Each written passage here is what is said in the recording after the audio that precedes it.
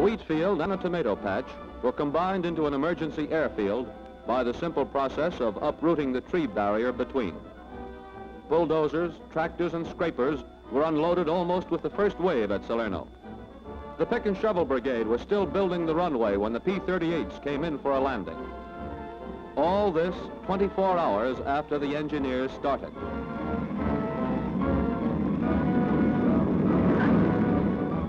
Then suddenly, an accident. A water truck concealed by dust was rammed. The engineers dragged the men out, fatally injured, but the P-38s kept coming in.